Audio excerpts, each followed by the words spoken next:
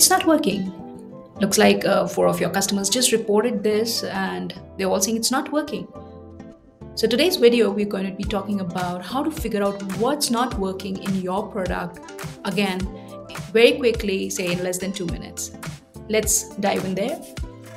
Say, here's a customer who's trying to sign in, you got alerted about it in your Slack channel, and you know that there's a sign up failure that's happening for this person. You can see the Zipy link here. We click on it, we go right into the session.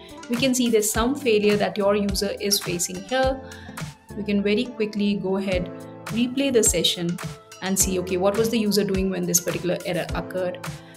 This is saying please enter a valid business email address. Now, that's something that we expect a user during a sign up. That seems to be the root cause of what's not working during a sign up for these users. It took us less than two minutes to figure out why things are failing when users are trying to sign up. Hope this is helpful for you.